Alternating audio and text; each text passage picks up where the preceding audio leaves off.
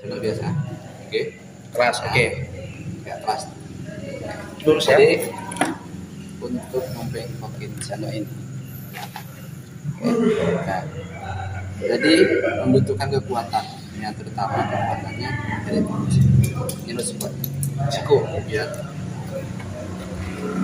Wih. Bengkok. ya.